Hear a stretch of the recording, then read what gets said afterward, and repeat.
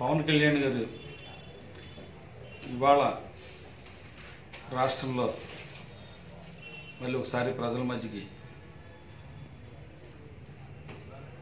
వచ్చి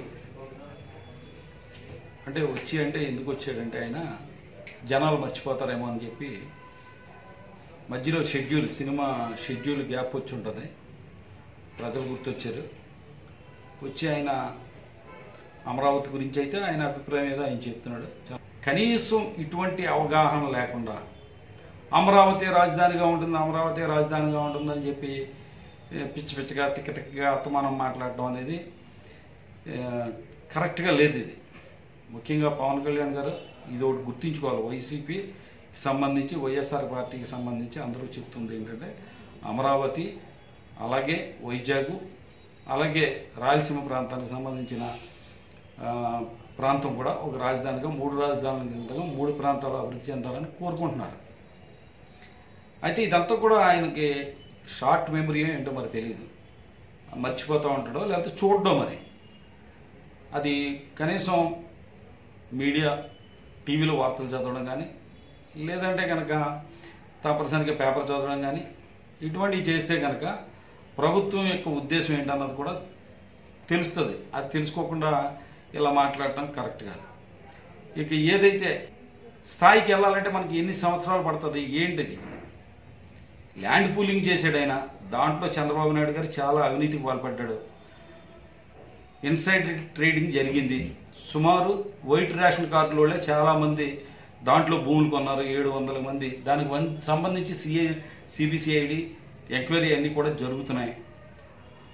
ఇవన్నీ జరుగుతున్నా తెలుస్తున్నా కానీ ఒక మూర్ఖుడిలాగా ఆయన మాట్లాడటం అనేది ఈ రాష్ట్ర ప్రజల రాష్ట్ర ప్రజల యొక్క ఆశలకి విఘాతం కలిగించుతున్నట్టుగా ఉంది పోతే ఇంకా ఆయన మాట్లాడితే వైఎస్ఆర్సీపీ గురించి మాట్లాడతాడు ఆయన. నీకు వైఎస్ఆర్సీపీ గురించి మాట్లాడే అర్హత లేదు. యాభై పర్సెంట్ ఓట్లు పైబడి జగన్మోహన్ రెడ్డి గారికి రా రాష్ట్రంలో చరిత్రలో ఇంతవరకు ఏ పార్టీకి కూడా రాలేదు యాభై పర్సెంట్ దాటి. అటువంటిది యాభై పర్సెంట్ దాటి ఓట్లు తోటి ప్రజల మద్దతుతోటి మరి నూట యాభై సీట్లతోటి గెలిచి ముఖ్యమంత్రి అయ్యాడు ఆయన ప్రజల యొక్క అభిమానం పొందడానికి ప్రజల యొక్క విశ్వాసాన్ని నిలబెట్టుకోవడానికి ప్రతి క్షణం తాపత్రయపడుతున్న వ్యక్తి జగన్మోహన్ రెడ్డి గారు. ఏదైతే నవరత్నాలు హామీ ఇచ్చారో హామీలు అమలు చేయడానికి నిరంతరం కూడా తాపత్రయపడుతూ పనిచేస్తున్న ముఖ్యమంత్రి జగన్మోహన్ రెడ్డి గారు.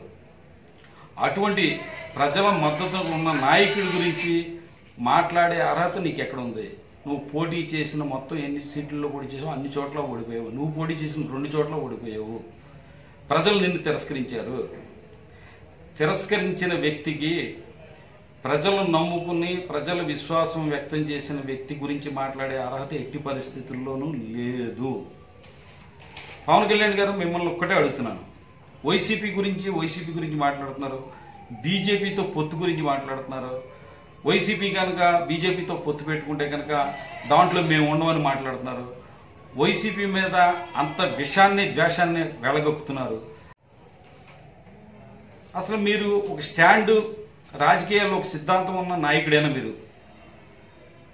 ఎందుకు అనవసరంగా మీ అభిమానుల్ని వాళ్ళ జీవితాల్ని పాడు చేస్తారు? నిజంగా మేము చెప్తున్నాను మీకు తెలుగుదేశానికి ఉన్న సంబంధం గురించి మీరు మాట్లాడండి.